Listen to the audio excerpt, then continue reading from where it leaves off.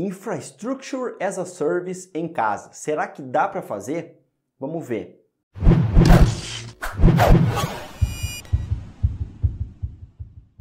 Fala aí pessoal, sejam todos muito bem-vindos a mais um vídeo aqui do canal.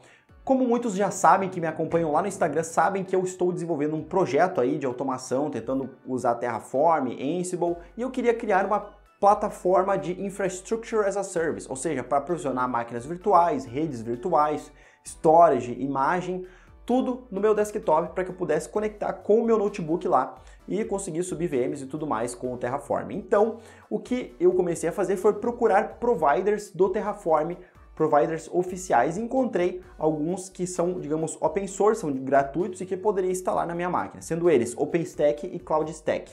Só que eles eram bastante complicados no sentido de instalação. Até tentei instalar o OpenStack, mas eu tive alguns problemas. Então eu comecei a procurar algumas alternativas e encontrei o OpenNebula.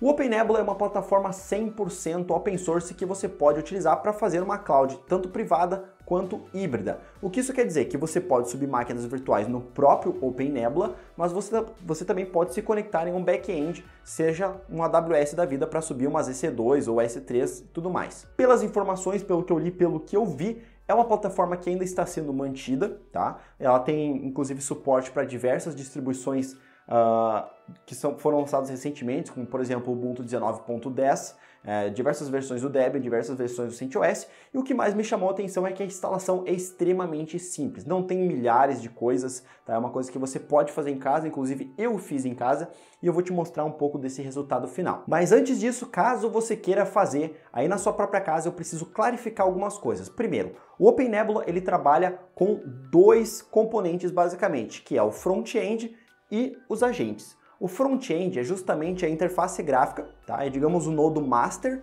é, e você vai, a partir desse nodo master, você vai conectar em outros nodos, porque ela é justamente uma computação distribuída e você, você precisaria mais de um servidor e criar, digamos, um cluster entre eles. Então o master vai gerenciar e vai, quando você subir uma VM, ele vai colocar ou em um nodo ou no outro nodo, tá? Como eu só tinha uma máquina, eu precisei criar os dois componentes, instalar os dois componentes na mesma máquina, o que foi um pouco difícil, um pouco desafiador, mas no fim funcionou tudo beleza.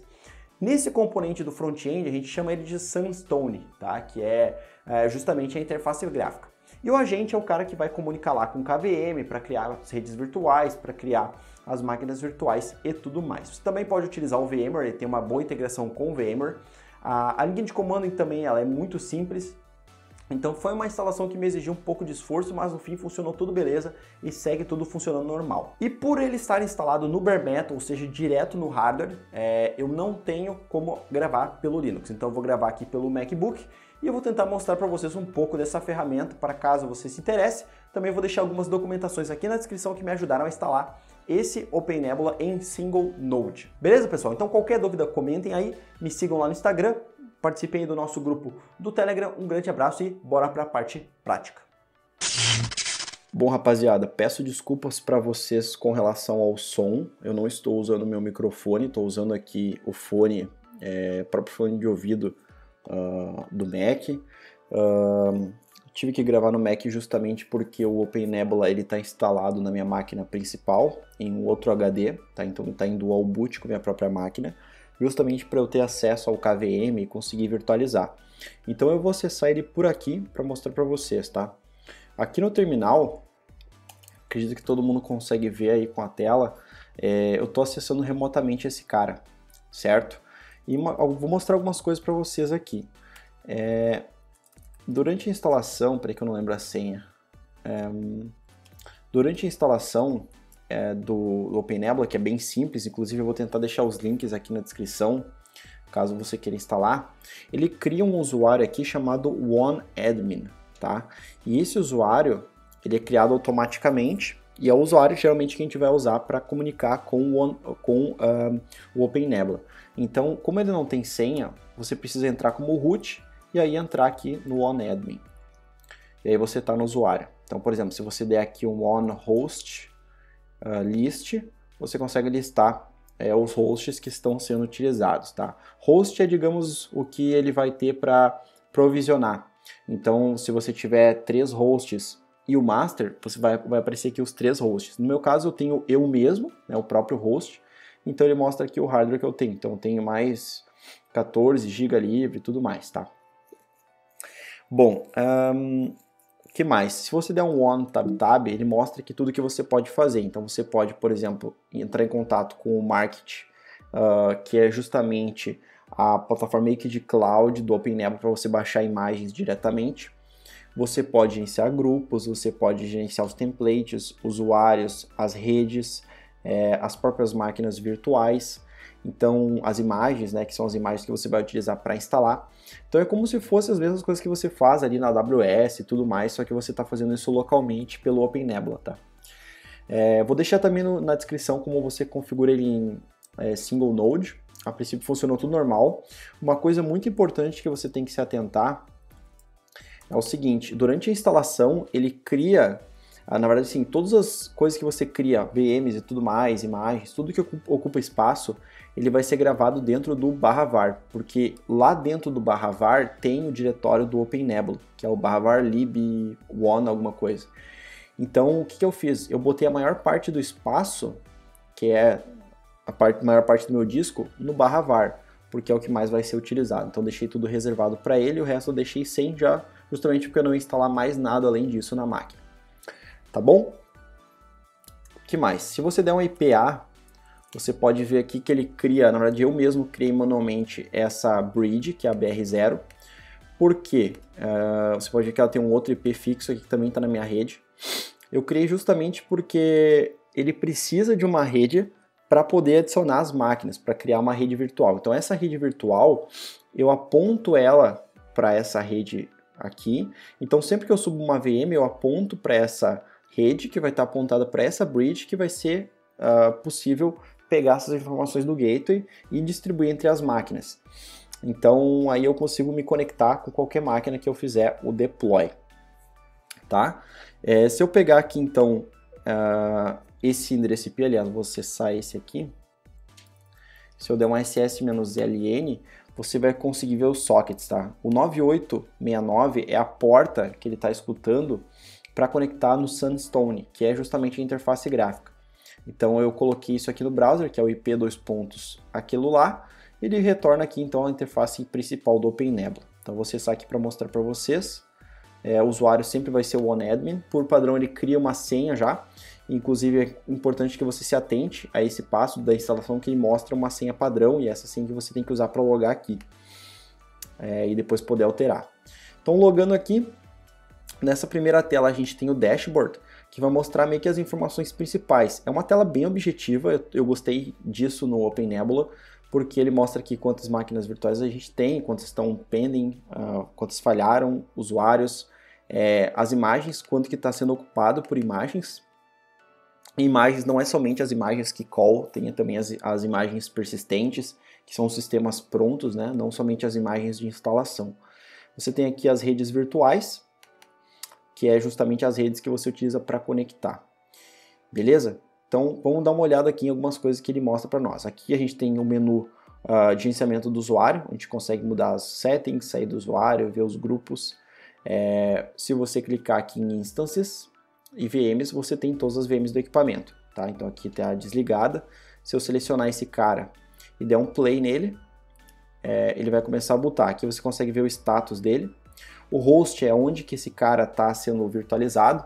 Nesse caso aqui está sendo virtualizado na própria máquina, tá? Então, é, se eu der até um virsh list, se não me engano, ele vai mostrar, não lembro agora, certo? Uh, deixa eu atualizar aqui, ó, já está em running, é, acho que eu.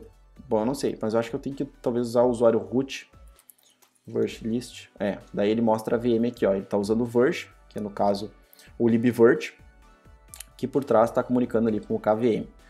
Então deixa eu voltar aqui. Beleza? Vou dar um on VM list.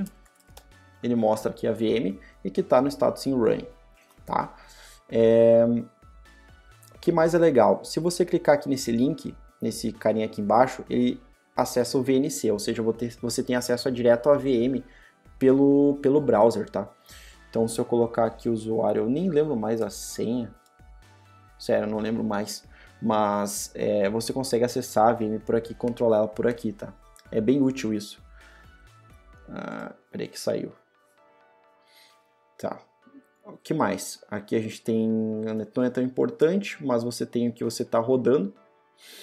Aqui em templates é uma parte mais interessante porque sempre que você cria uma imagem, para você colocar essa imagem para rodar, você precisa de um template. Então é como se fosse uma pré-configuração. Por exemplo, eu tenho uma imagem aqui em Storage Images, que é uma imagem do CentOS.